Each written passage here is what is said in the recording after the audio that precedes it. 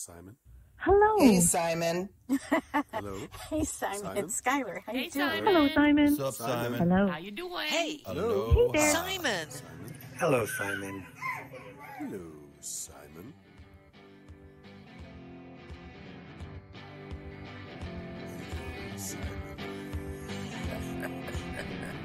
This is Conversations with Storytellers, a podcast of wisdom, thoughts, and folk and fairy tales from our elders. And I am your host, Simon Brooks. A meeting with professional storytellers. This episode contains some very graphic detail regarding slavery. Some of this will be triggering and upsetting. Antonio Rocha, who I am in conversation with, is of African and Portuguese heritage. Where it gets really bad, I have added another warning. I am very fortunate to say that Antonio Rocha and I are good friends. We both tell folk and fairy tales, and Antonio also tells a number of personal stories which are both funny and poignant. He also spent the beginning of COVID creating an historical piece on a ship which became a slave ship called the Malaga. This true story is woven into Antonio's life, as the ship was built in Maine, where Antonio now lives, and travelled to Brazil, where Antonio was born and raised. This was one of the most enlightening and hardest conversations I have had on this series so far. The interview, taking place in Antonio's living room, talks about the slave trade and how Antonio came to creating the story of the slave ship Malaga. This is a deep conversation and tackles some hard facts, and some might find this episode, as I have already mentioned, triggering and upsetting. Welcome, Antonio Rocha. I'm sitting in a living room in Gray, Maine, which is about half an hour's drive from Portland on the coast. And the house that I'm sitting in belongs to Antonio Rocha. Now, Antonio comes from Brazil, one of the hottest places on the planet, but he has made his home here in Maine, United States of America, one of the coldest places. That's right. And we're here today to talk about um, a production, not really a, a story, a true story, an historical story about a ship called Malaga, That's right. and it's a slave ship. Yes, it was used in various um, ways, and then it found itself in the slave trade. Right. Yeah. Um, the ship was built in 1832, Okay. just about 40 minutes from here, Well. 45 minutes, um, in uh, off of a town called Brunswick. Okay. And um, so the ship was built in 1832, and slavery was still legal. Right. So the ship was used right away to haul uh, products that were created by the slave um, industry. Right. So sugar and Sugar, Coffee. tobacco. Co- um, um, well, it started with sugar. right. The whole slave th- thing started with sugar. Mhm. Uh, sugar was a very um, um, expensive commodity. Right. you know, in the 1400s, just to give a, a perspective, in the 1400s, this is before the American slavery started, Right. right? Um, a human being uh, consumed in six months the amount of sugar it's in a soda can today. Wow. so it took them six months To to consume. the amount of the sugar we sugar in drink in five minutes, right? Yeah. If Um, right. Yeah. you know, then they brought the sugar plantations. They started the sugar plantations, and they tried with with the natives, Right. but the natives could escape and go hide, Right. right? Because they knew the land Right. very well. Uh, this is just one of the details. This is not the detail, but um, yeah, and, and not to to uh, undermine. You know, the natives would, would escape, right? They tried slavery with the slave with the native first, but they would escape, but they're still obliterated. In Brazil, for example, when the Portuguese arrived there in 1500, and this is stuff that I learned. This is information I, I learned reading Laurentino Gomes' Slavery. It's called the, the his uh, trilogy is called Slavery. There are about three to four million natives in what is known as Brazil today. When the Portuguese arrived there, Okay. the first account of slavery was actually a ship that left Brazil in 1511 for Portugal with uh, with uh, with jaguar skins, parrots, Brazil wood, and a group of natives who were auctioned off into slavery in Portugal. Okay. So that's the first registered uh, transatlantic shipment of s- slaves was actually from Brazil to Portugal with natives. And then they, when they start to bring in the Africans, they kept on killing Native Americans, Native Brazilians. You know, they're Native Americans because it's all the Americas, right? And um, it was about a million per century. A million per century. So in 300 years, okay, you can understand how how the population dropped down from 3 to 4 million in 300 years it dropped down to about 700,000 okay? And Of- of na- um, native and, and and yes native south americans in in what is called brazil. And the majority of the death was caused by disease. It was caused by weapon and, and warfare as well right. but most of it was disease that the europeans brought that was not known you know to to south to to the natives. Right. To so of the Americas. one million per century Wow. one million indigenous each a hundred years. Uh, so, yeah. So it was genocide on all f- Yeah. fronts. Yeah. On all fronts. And then they start to bring in Africans and strip them of their culture, of their names, and isolate them f- from everything they knew as a way of. It was really like a, you know, warfare type of tactics. You know, strip of your identity and build a new one. And so, Malaga was created in 1832, so it was already illegal to bring to traffic humans from Africa to the Americas. Brazil continued Okay. the trafficking, and it was illegal to transport them, but there was always a way around it Right. Uh, because um, the 1800s, which was the last century, the last period of the last push, slavery was the number one industry in the world Holy cow. in the 1800s. Wow. Brazil's number one crop in the 1800s was coffee. Right. So Brazil was exporting coffee and importing slave ships. And slave ships, since it was already illegal mm-hmm. to build them, they were any ship that you could get a hold of w- became a slave ship. So Malaga was not a big ship at all. It was only 183 tons. It was an 183 ton brig. Mm-hmm. You know, Amistad was also not a very big ship. You know, Right, right. Amistad came to Portland a long time ago. It, it was either Amistad, the ship itself, or a, a look-alike, Okay. something like that. But I looked at it. I was like, "Wow, that's a small ship." Right. You know, you're, you think you're going to look at something huge, Huge. but but uh, they were trying to get a hold of anything uh, because it was prohibited. But the slavery was still going on in the Americas, Right. right? This is the early 1800s. Right. So anybody who built ships, those ships ended up almost thousands of ships were used in the legal trade in the 1800s.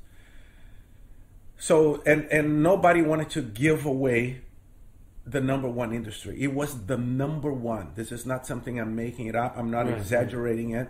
This is a historical fact. In the 1800s, slavery was the number one industry and it supplied it was the tip of the iceberg of many other industries insurance boat building water supply, resu- water resupply, uh, um, maintenance, um, you name it.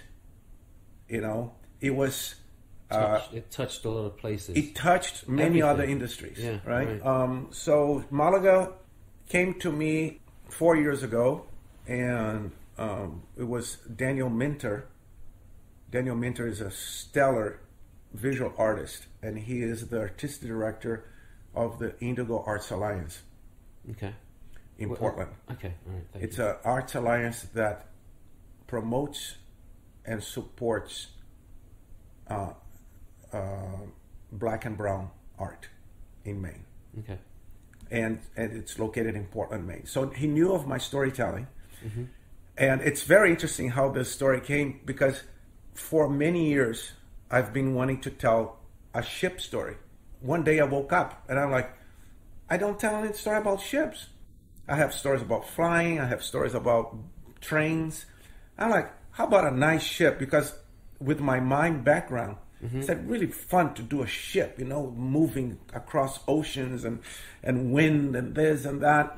And I'm like, it's a great movement, mime oriented um, object, you know, the the the ship itself Right.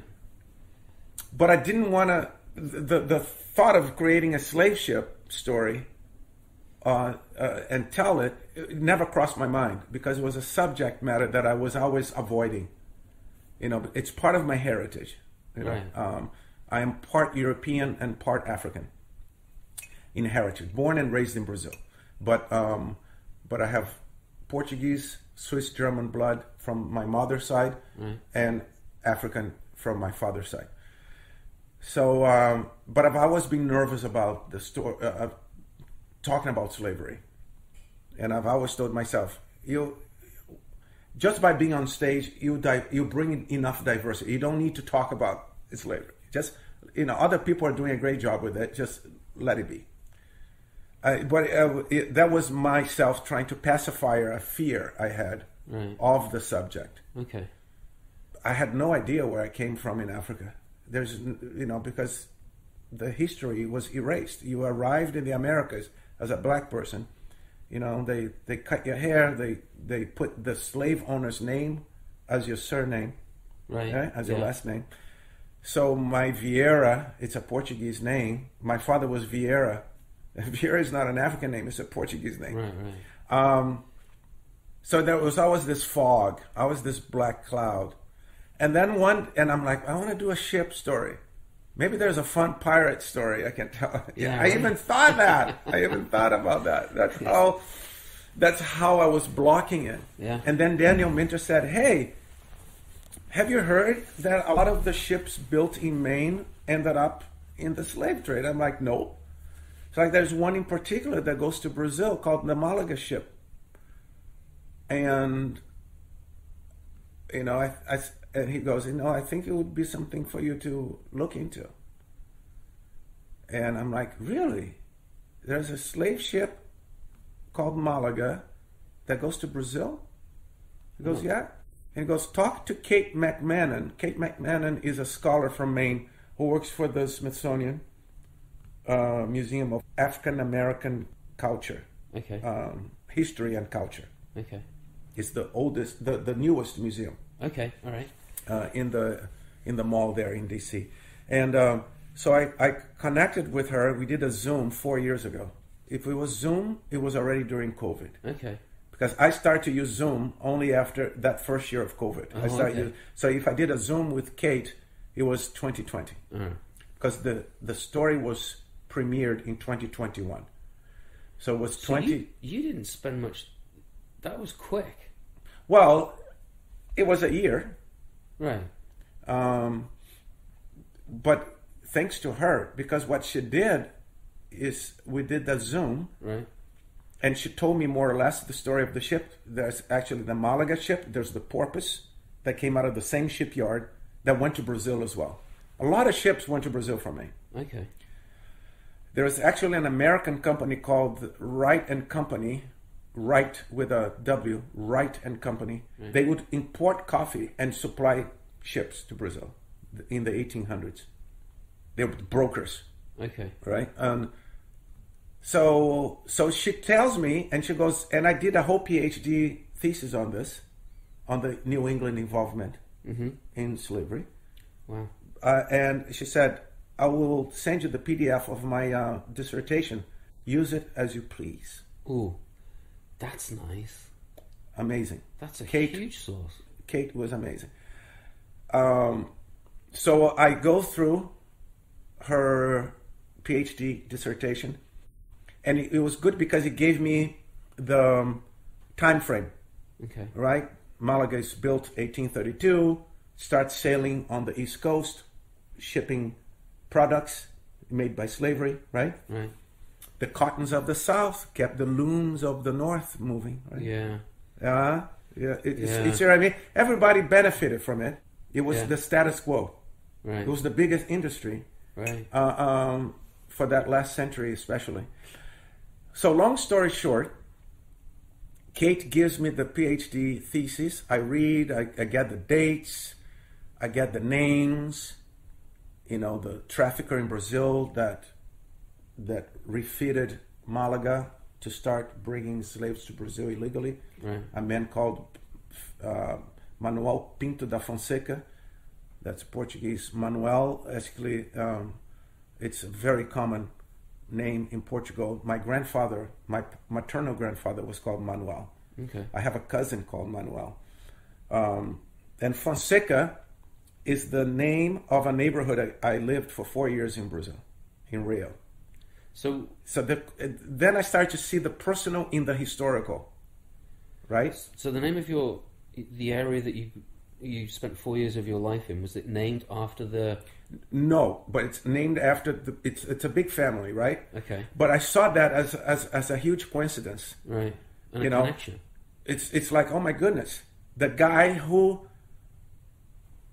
who um, chartered Malaga for this nitty gritty work. Right. His last name is the name of a neighborhood I lived. Malaga sails into Rio, a place where I grew up. I'm from Brazil. I came to Maine. Maine, uh, Malaga is from Maine. Went to Brazil.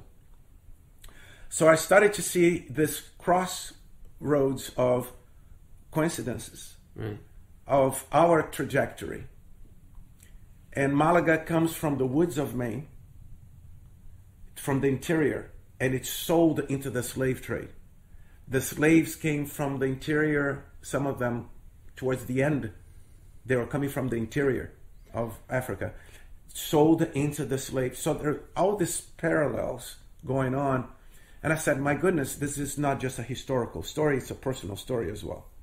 As luck has it, uh, as I am reading her PhD, I am getting acquainted with this man called Laurentino Gomes. He's a Brazilian author, bestseller of three historical books on Brazilian history. And then I'm watching his interviews online in Portuguese. And um, and he he said I wrote three books about Brazilian history, and they became bestsellers.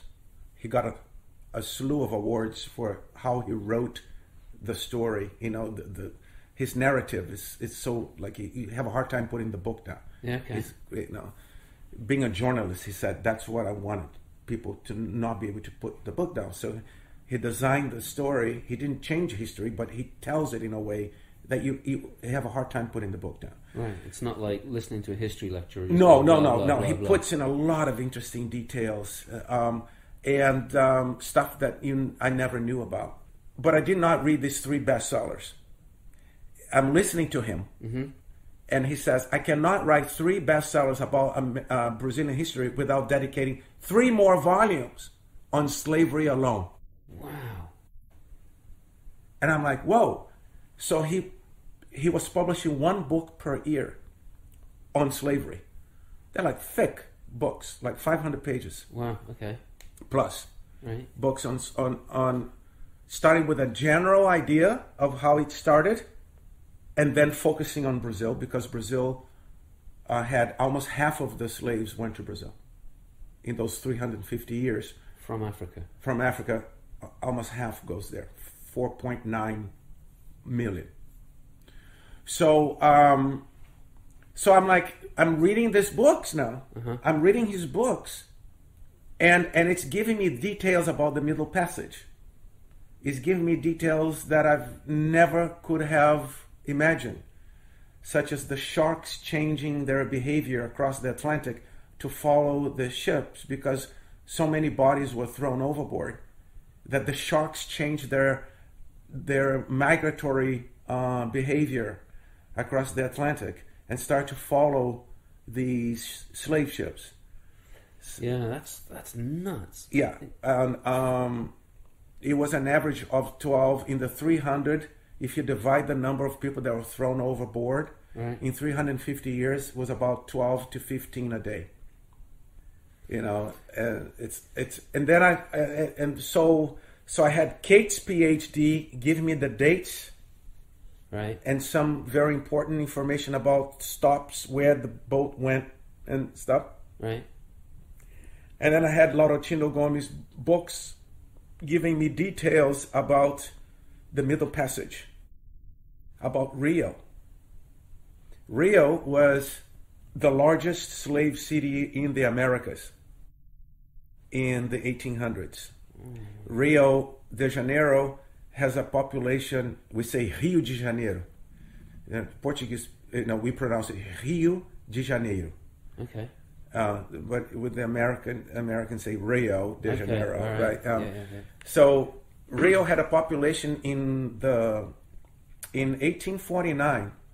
Rio had a population of 206, give and take, Right. thousand people. Right. 206,000 people, and from those 206, 80,000 or so were slaves. Oh, that's nuts. It was the largest uh, slave city in the Americas, and they were uh, doing all very, you know, very uh, different types of jobs, Right.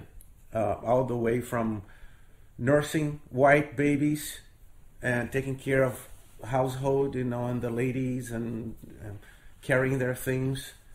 Um, you could rent a slave, for example, if you lived in Rio as a white person, and but you didn't own slaves. Okay, you just have a house, and you're a bachelor, but you wanted to go to the theater and you wanted to look good. Oh. You could rent two or three slaves and have an entourage of servants go to the theater with you because that made you look good. That's bonkers. That's Okay? crazy. So you could do that. Yeah. There are slaves called tigers. They're nicknamed tigers not because of their fierce strength, Uh huh.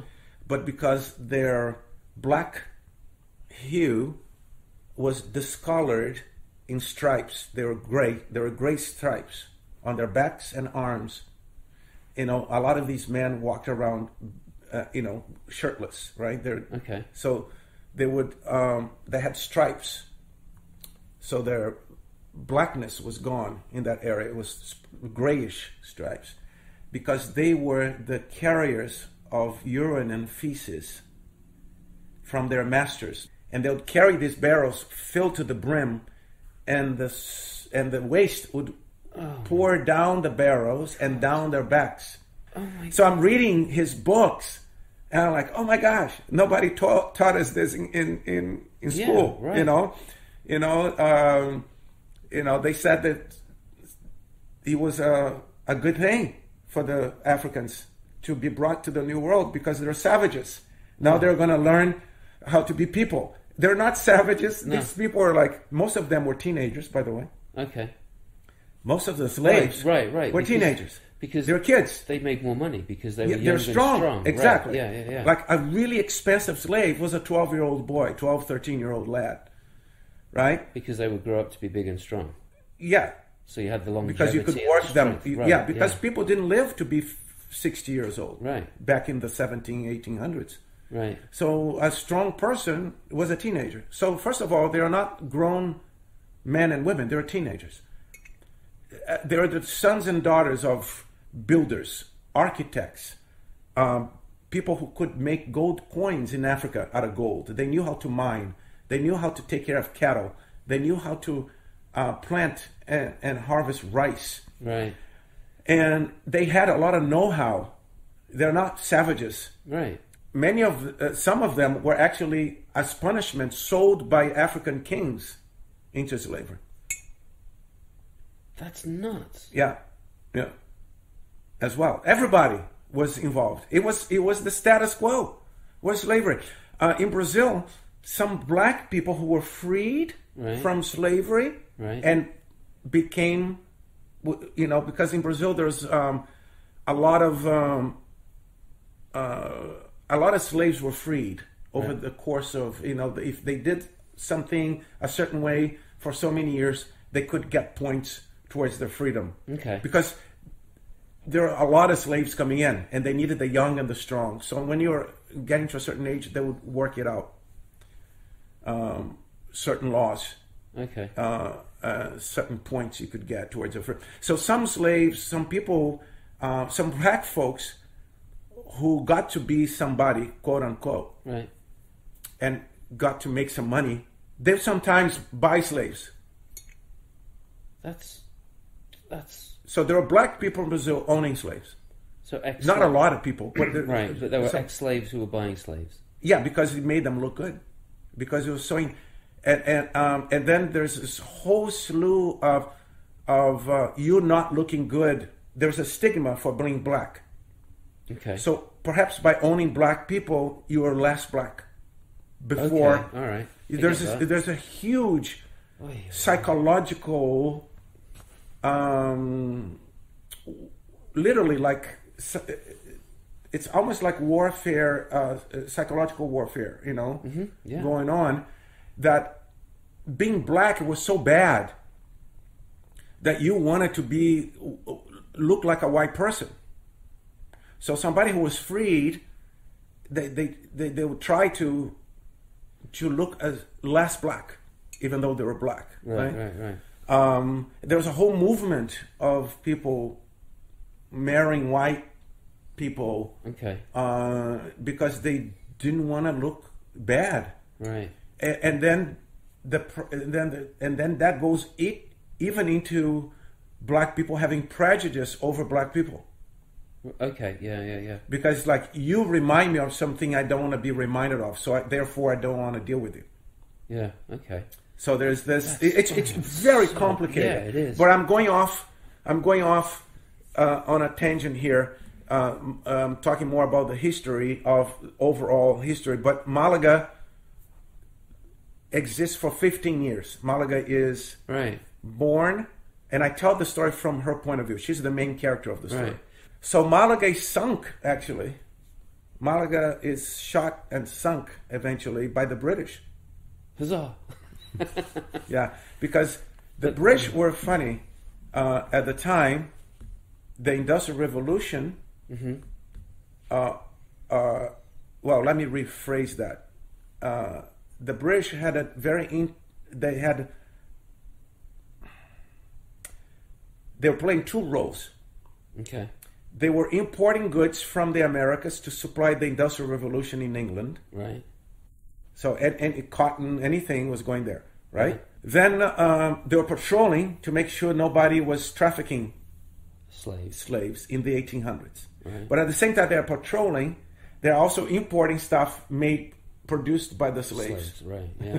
So there's this, y- you know, dichotomy. uh, Yes, Yeah, the contradiction. uh, yeah, toma cada lá. You know, there's this expression in Portuguese called toma cada lá. It's like give me some, take some. Toma cá, Right. take some. Da lá means give some. So toma cada lá, it's like okay, I'll keep a blind eye this way, and you keep a blind eye that way. You know, and. Uh, and we'll change the flag. So a lot of the slave ships had American flags. That's right. You told me that. Yeah. Yeah. Yeah, yeah. because the Americans were not trafficking anymore. Right. Well, quote unquote, Right. not like the Brazilians. So a lot of Portuguese ships had American flag. They would just shift because then a, a ship, a British ship, would see an American flag, And they'd leave it alone. leave it alone. But it was full of you know. Um, the conditions of of the ship Mm-hmm. was something out of a horror movie. Yeah. You could smell a ship before you could see the mast of the ship poking out on in the horizon.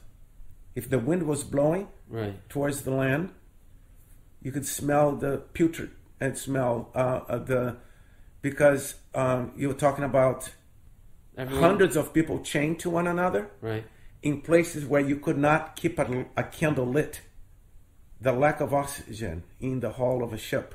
You know, they were packed like sardines. They couldn't make it to a latrine to le- relieve themselves. So they were just So defecating it- where they defecating wherever where they were, uh, puking. Right. you name it, right? Uh, they were moving caskets, Right. Yeah. Um, uh, moving coffins, Right. torture chambers. At least Yeah. there were cho- torture chambers because for weeks you're like that. Right.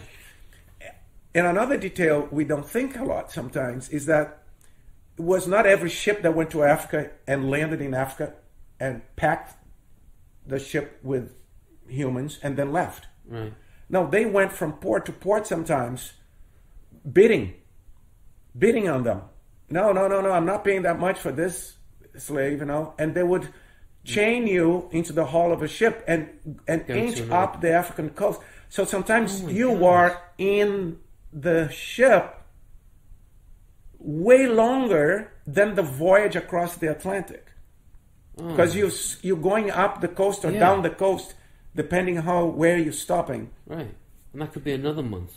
Yes, just filling in because Yeah. you know I'll buy ten here, fifteen there, fifty here, uh, you know a half a dozen there, and then to get to 300, 400.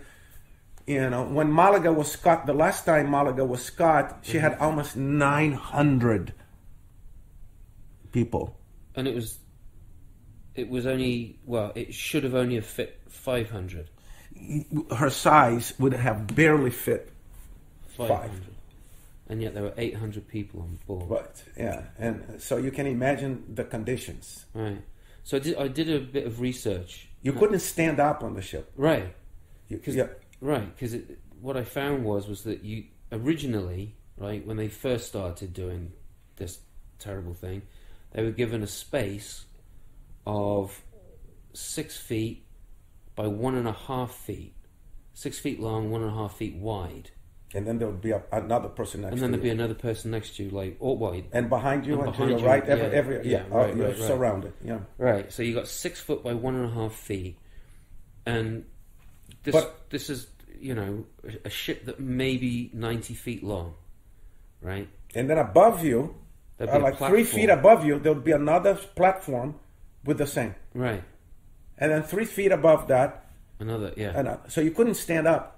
Right. You could you even, sit up, Right. Depending if you're tall or not. right. You know, depending which tribe you're coming from. If you know, a if short you- back if- or a long back, right? Is- Yeah. So. Oh my gosh, that's, and, and, and, and then looking for a central character to tell the story. right, You know, Malaga starts in Maine, right, 1832. It's sunk by the British in 1848. okay. I'm like, okay. So all of a sudden, I'm like, So I'm when gonna the ship was sunk, go would off the coast of Africa. and it would have been filled with slaves. Yes, but they did not sink her with the slaves in it. They they took the slaves. They'll take the slaves out and send them back. Not necessarily to where they came from, but they'll send them back.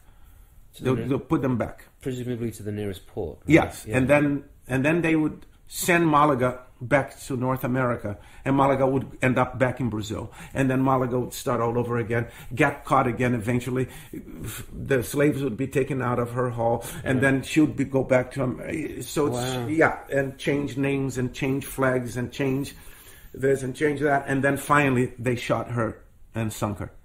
Right yeah, that was in the late uh, uh, 1840s, 1848.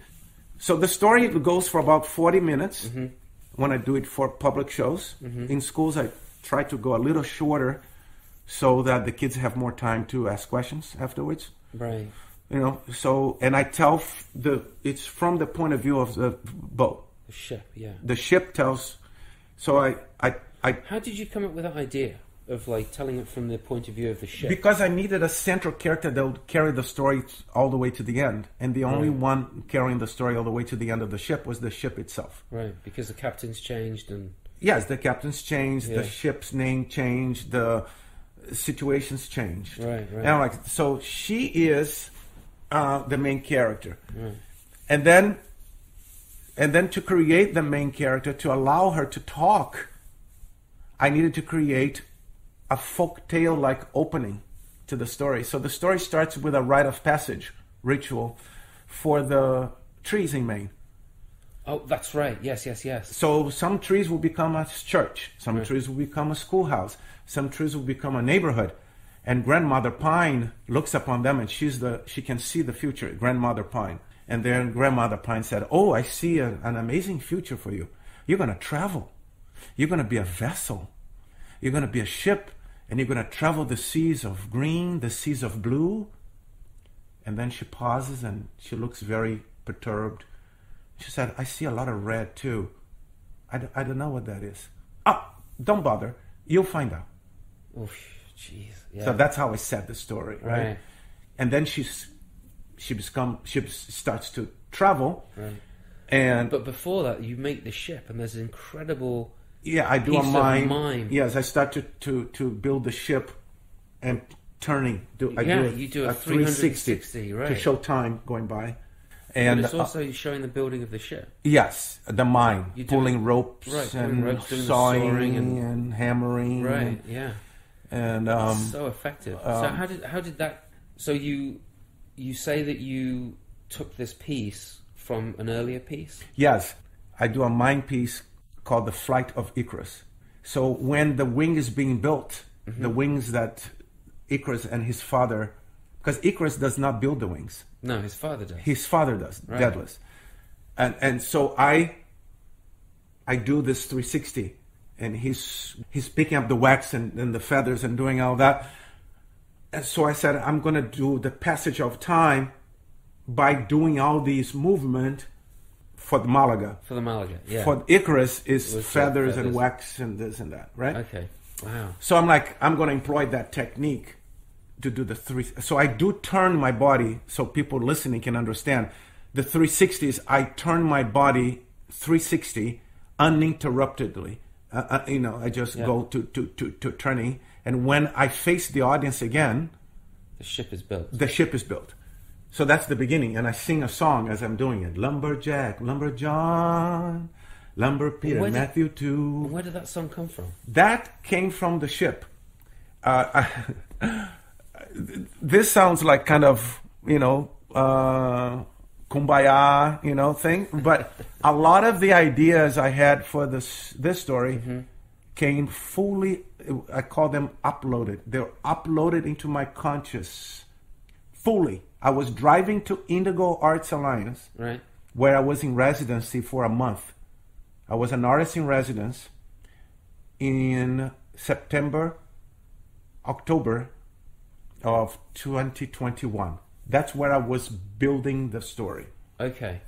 I was re- researching and rehearsing, and also I was mentoring another artist. I was a mentor to an artist, Okay. and also building, uh, creating the ship. And I was driving to Indigo like I did every morning Right. for a month that I was there. This is during COVID. Another amazing thing that happened. I had the, I had the month to do it. I wasn't on the road, so I had the month to do the. And I was on the ramp going onto the highway on the ramp and by the time i entered the ramp and i exited the ramp i had the whole song and um That's so cool. Yeah. I love that when magic so i do i yeah magic. So i do Yeah. you know lumberjack lumberjohn lumber John, Lumber peter matthew too lumber flowing down the river to the bay. You know so that sent that that phrase there lumber flowing down the river to the bay shows the movement of the trunks flowing down the Penobscot River, the Kennebec River in Maine, that come in from the interior and bringing in the lumber to the bay, to the shipbuilding, you know, which, was the, the shipbuilding yards were all over Maine. So I added that sentence, all driving to rehearsal. Wow. And then when I got to rehearsal, I sing it again and again. So I decided to add Abenaki, which are the native people right. who are also involved. You know, the, the, the, uh, uh, a, a, a lot of things that people don't understand is that Maine was very diverse back in the day. There are a lot of black people in Maine, Right. uh, and they found ra- uh, refuge in the maritime industry. Okay. Uh, uh, uh, they would go out fishing. They would build the ships. There were black people building the ships uh, side side by side with white people and native people, and um, and uh, a lot of the slave ships. Some of the crew were black. They were slaves on the ship. Right. Uh, it, it's it's uh, it's it's mind-boggling, and um, uh, so I tell. And so my idea to have Malaga was another idea I had. This was a conscious.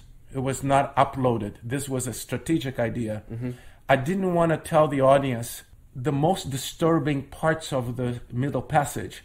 I didn't want to tell the audience like we would tell as storytellers Right. and this happened and that happened and and that's what happened I, I wanted to distance the audience a little bit i want them to uh, not to hear directly from me Oh, okay. on stage Right. i said how do i deliver the really horrific details of the middle passage to the audience without looking at the audience so in one point in the story malaga can hear me because i let malaga loose There's, there are two or three points, aren't there? yes so i'm like one at the beginning, one in the middle passage, and then another part at the end. when she's about to be Right, sunk, right? right. So Malaga, I, I will say, and Malaga arrived at this place, and I will talk about what what happened, right.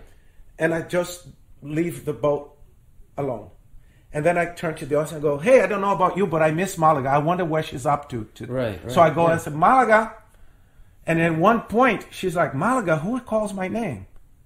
And I'm like, whoa, you can hear Malaga? When I say Malaga, you hear me? And then and then Malaga goes, and I change my arm position so people know when I'm the ship and when I am Antonio, Right. the storyteller. And Malaga goes, who said Malaga? Can you hear me, Malaga?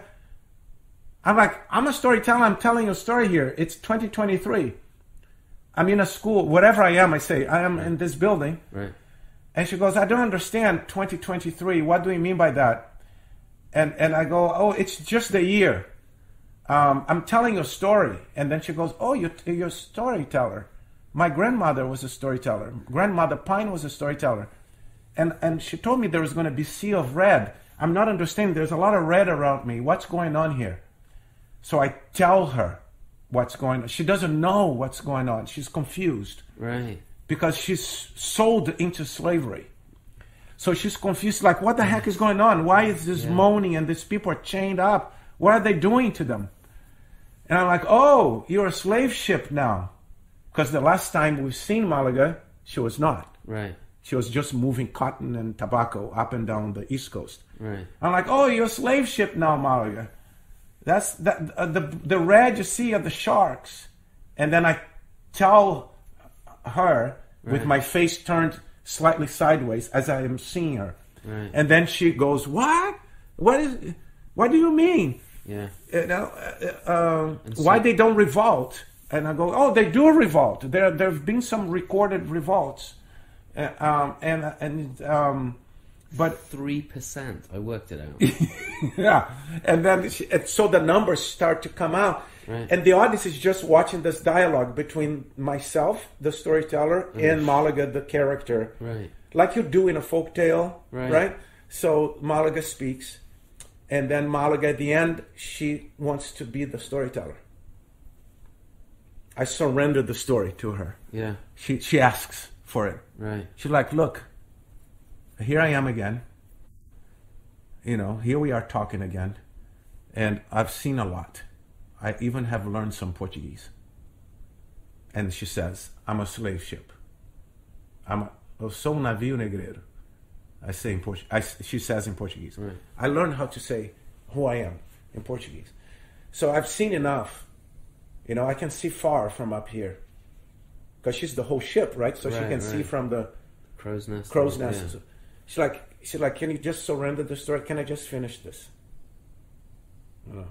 It always gets me when um, when she asks to uh, tell the story, and I think what it is is the um, the subtext there is is the um, the subtext of her asking to tell her own story is the inability of the black people being unable to tell their own stories.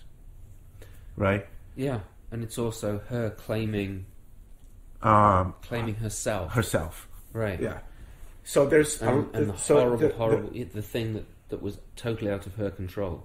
yeah. Right. Exactly. And and she's and, and she, resigns and she is the parallel. Right. So yeah. so it's a- it became I, I didn't think about it intellectually this this strategy of having having her tell the story Mm-hmm. as, as the people listening to her story they feel sorry for the ship. Right. So the underlying message is if you can feel sorry for an inanimate object, Then you should have how some- about the slaves themselves? And when she's like, "Oh, here, the, here's the British," here the, and then she goes on for quite a while on a monologue about what she has learned, Right. which is all new information for the uh, audience. And then she sees a British ship, and it's like, "Oh, here we go again. They're gonna take them out and and and send me back to North America. They're gonna take them off. Oh, they're carrying them off. Oh, some of them did not make it. You know, so I, I'm just, I'm broadcasting from the ships. You know, the ship is telling. Yeah. They're removing. You know, and then she said, "Okay, now I'm gonna go." And then she stops, and they're like, "Oh, whoa, whoa, whoa, whoa! They're pointing cannons. They're pointing cannons at me. They've never done this. Oh, you storyteller, you knew this, huh?" and Yeah. that's the last she says. Yeah. You knew about this. You kept it quiet. She goes like that. But there's there are also points in the story where she asks you to change the story. Yes, that's uh, That- yeah. that is- That's uh, she wants me to change the story because grandmother Pine, Yeah. when stories got too scary for us, She would change. she would change the story, and Right. and uh, and she asks, she says, "Can you change the story?" And I said, "No, I can't tell. I can't change the story. It already, it Yeah. already happened." Yeah. And, And that's a that's a powerful point of the story. yeah, that happens uh, early on Yeah. when she's first When she realizes. understanding what's going on. Yeah. She's like, change the story, sink me. Can Yeah. you sink me? If you can't change the story, sink it. Right. Sink me. No, mm, can't do that either. Right. Not yet. well, yeah, but I can't do it. Right, right. You know, yeah. so, but I don't tell her she's gonna sink. Wow. Yeah. Um, I'm go back to the whole process Yes. of the creation of the story itself. Um, you had the information that was given to you. You read a lot. I read a lot. I read a lot. I read the dissertation. I read the three volumes. Mm-hmm.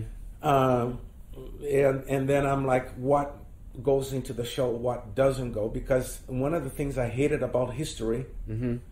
was the overwhelming number of dates. Yeah. And I'm like, when I'm doing a historical piece, I don't want to overwhelm the the audience with numbers Right. because it's it's mind-boggling.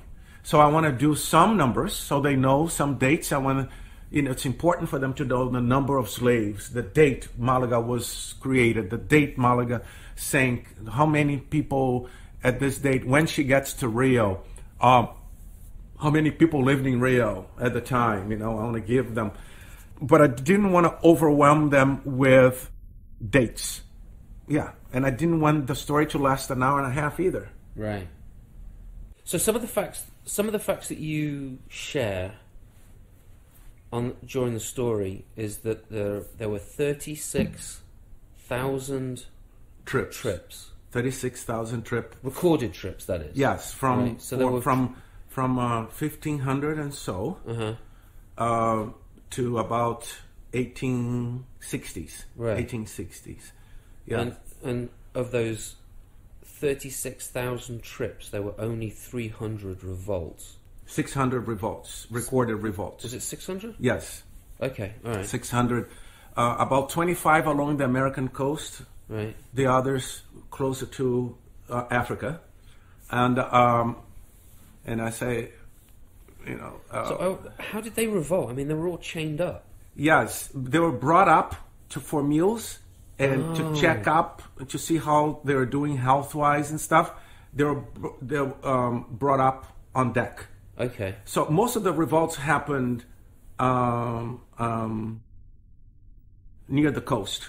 They could still see Africa, Okay. and they'll revolt and sail the ship back, to find a way to bring the ship back. Even though a lot of them did not have the know-how, but they would just do it, hold somebody at Yeah. gunpoint, whatever. yeah. But the revolts would happen because, um, you know, there are a lot of them, and if they found a way to to grab somebody to do something, they they revolted. Right. You know, um, there are many different ways of of doing that. I don't know it in detail, Right. You know, but um, the the the Amistad, there was a revolt. They they they freed themselves enough to Overcome that. to overcome them, Right, right? Um, if they if they sensed a revolt churning, if they sensed some danger, um, the crew they would decapitate one of them, one of the slaves, and hoist it up while they're still in port. Sometimes, because remember they would kind of just go port by port Right. buying slaves. So if they sensed danger, um, they would uh, hoist up somebody headless up and, and bring other ships to see the body because a lot of them believe that once your head is lost, your soul would be lost forever. Oh my gosh. So they did that. Holy cow. So they did that to um, to tame, right. to keep them under fear Right. of uh, because one thing was to die, worse than dying was to have your head cut off. For not all the tribes believed in that, but some of the tribes that they were uh, had that belief system, right? Wow. So that that makes me think of another story, which comes from Africa, the severed head. Well, No, uh, It's a it's a jump story. oh, the talking sto- skull. Talking skull, yeah, Yeah, the the talking, talking- head. When yeah, they yeah. find a, to- a yeah, yeah, yeah, yeah. on a tree stump, and they're like, "Oh, who did this to you?" So Yeah, that adds backstory to that Well, yeah, yeah. I think because that would be the worst kind of it's, yes, situation. Yeah. Of course. Yeah, that's in, yeah, yeah, Yeah, There could be a connection there. Yeah. There could be. I'm not sure, but yes. right. Wow. Um, that's that's yeah. The brutality of the whole thing is just Oh, it was very brutal. Right. Very brutal. And there is a huge amounts of fear of revolt, especially after Haiti became a country. Haiti was, it was what early, late, late uh, 1800s, almost not, uh, no, late 1700s, when the Haitians uh, took control of of um, the slaves there. It was right after the French Revolution oh, right? right. And they became a free nation. They became a they, they were the first group of slaves to take control and become a independent nation. Yeah, 1804. You see, right. Yeah, the because actual the- revolution it started in 1791. 91, and Right. then in 1804, the Haitians take control. Right. And um, it, but it did not. One thing that that's a long revolution. Yeah. yeah. So, so after that, The they they they, were they went up on punishment wow. uh, all over the Americas. They were afraid that that could happen somewhere else, and there are many there are many revolutions in Brazil. A lot of escapes and and they became quilombos. Quilombo is a word. It's the they would hide in in in create small communities Oh, okay. a- away from anybody else. They're called quilombos, and um, and uh, and the punishment went to a point that it was so severe that um, the death rate was huge. They would beat you, and and and, and you die from the consequences. And um, you know, you're talking about 50 slashes, 70 slashes yeah. and the whips were braided, Right. and there are several ends, Right. and there each end was braided. So it would, it's, it would take Slice. flesh, Yeah. slice flesh off your back, Yeah. and then for fear that you develop an infection, they would put in, you know, pepper, salt, vinegar. Oh my god. Yeah, but uh, so that's the story. That's the story. It's um, in my opinion, I can only speak for myself because I know my repertoire, Right. and and I I know for all these thirty years I've been telling stories. Uh, twenty plus years now. I started in as uh, speaking because I was doing mimed stories before, Right. right? I've been doing that for over thirty four years. Okay. But when I start gathering repertoire that was spoken, this is my most important piece. Oh yeah, without a doubt. There's no doubt about it. Um, Poetically, very poetically, uh, um, uh, in its delivery, uh, and there's a lot of pathos. you know, the there is, ship yeah. telling the story, the sound effects um, I create, and um, the movement of the ship, the creation of the ship, the moaning and the crying of the slaves, the uh, all the historical, um, yeah, and she is, um, she's quite the character, She is. and uh, She's an amazing character.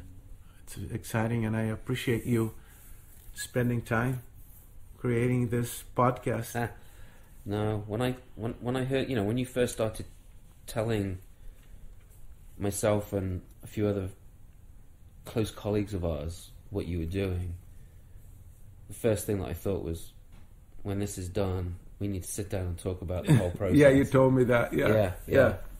Yeah, 'cause that- it's, it's such an important story to be told. I think. And it was a very cathartic process because it's my first slave piece. Right, I really had to face my fears. right, I did my DNA, my patriarchal African ancestry mm-hmm.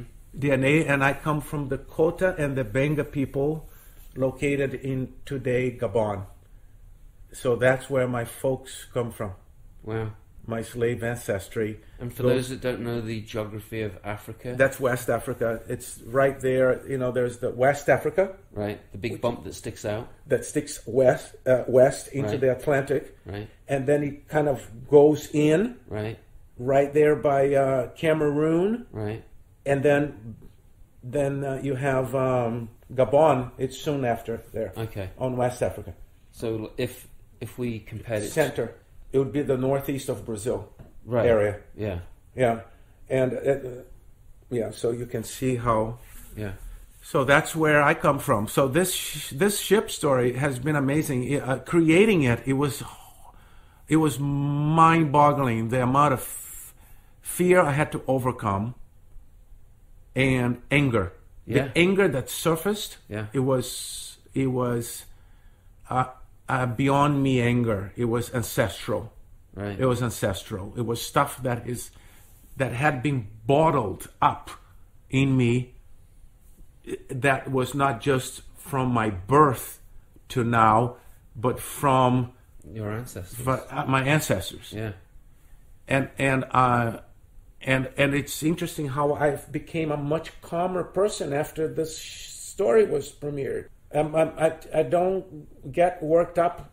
I used to get very worked up very easily about stuff, um, uh, not in public, right, you know. Um, but uh, and even my wife says, you know, you've become a much more like relaxed person after uh, 2018. Actually, 2018, I started to deal with my fear in a way I had never dealt before, right, and so I had some uh, issues with fear and anxiety, and it was all in preparations to start creating the story.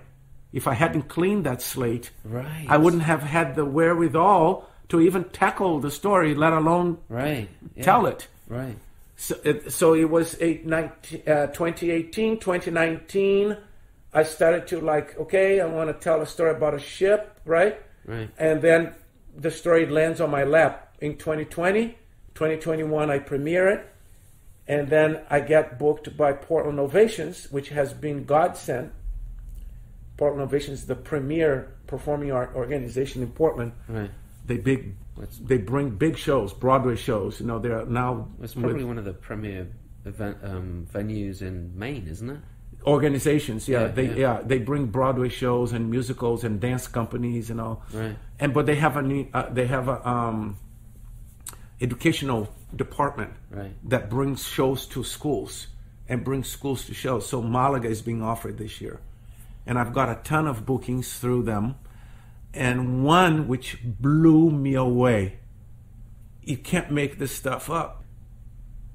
There's a church in brunswick where the boat was built Right. that the people, the leaders of the church, start to discover that the one of the founders of the church was also involved with slavery, building slave ships, and one of them was called Malaga. Oh my gosh.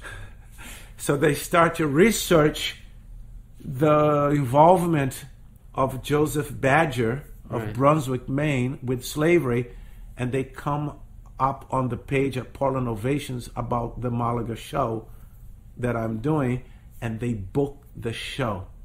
And I go to the church and I tell the story in the church to a packed church. They gave one of the longest standing ovations of my career. And at the whole time I'm telling the story, the ceiling of the nave, it's a ship upside down. It's the hull of a ship. So you're in a church. Built by the guy who built Malaga. And inside the ship, in a way, because the ceiling of the Yeah. nave is the hull of a ship. Wow. Upside down. And uh, How did that feel? it was incredible.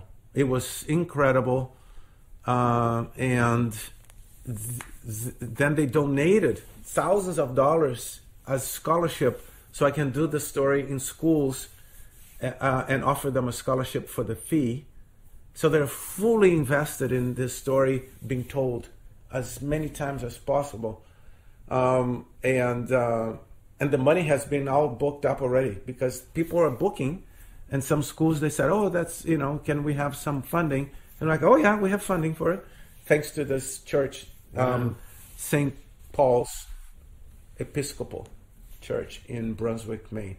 Um, and so the universe is celebrating the story. Yeah, it is. Yeah, it, it's it's Yeah. it's incredible, and people are not ticked off. They're not as they're not upset. I thought people were going to get upset. That people are going to leave, and but they know what they're walking into. I Right. don't blame anybody for it. There's no, you know, that's p- part of the show is to also um, make people understand this is what happened Right.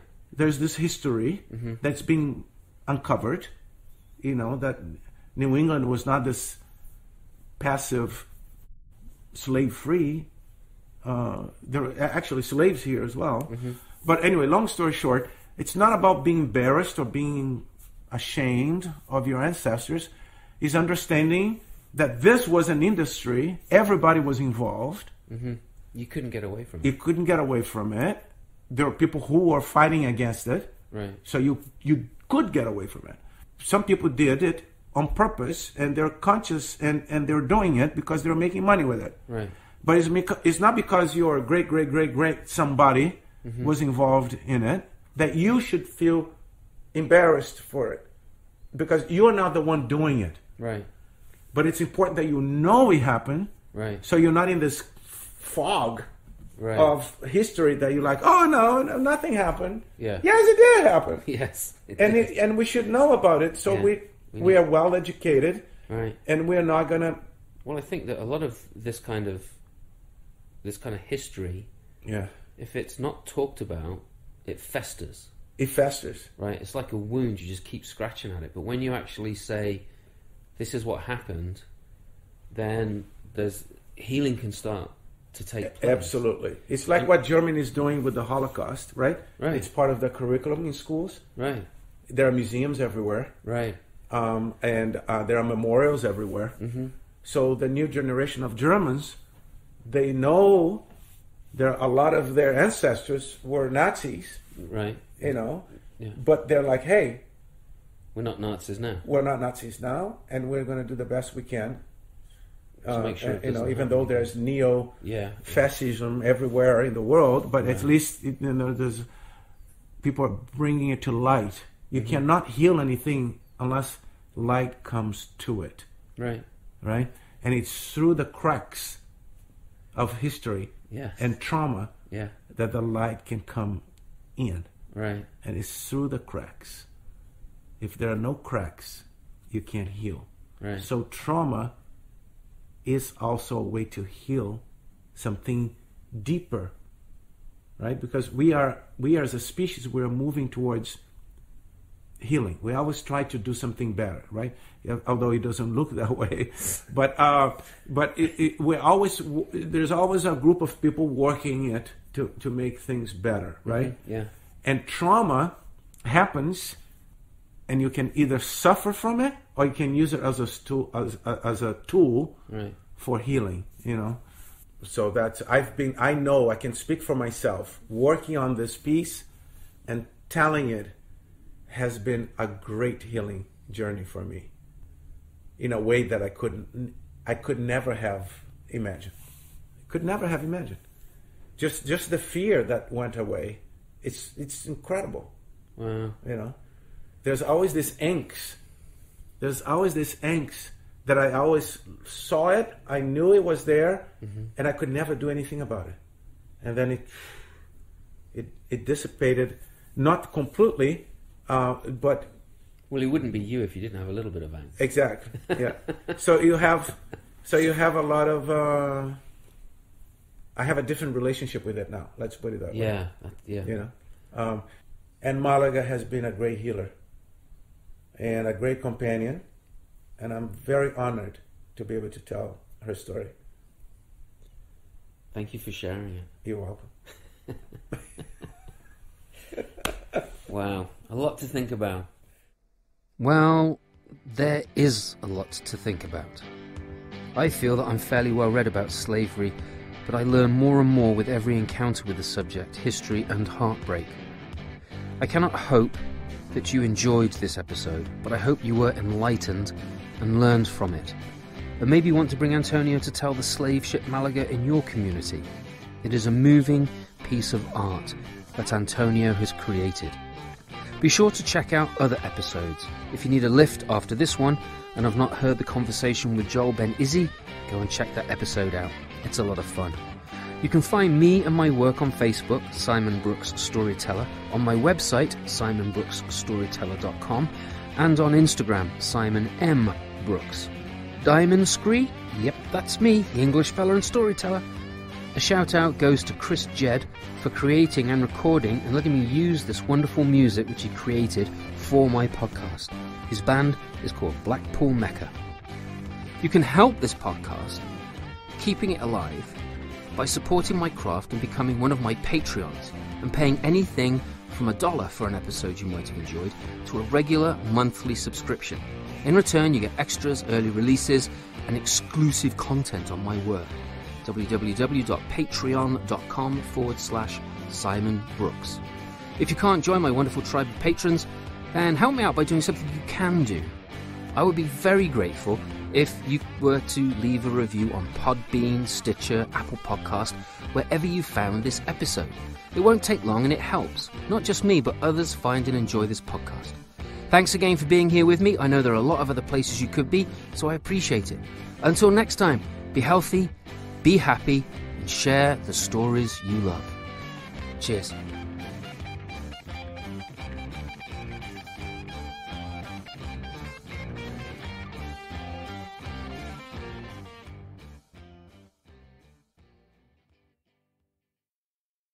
It's just a story.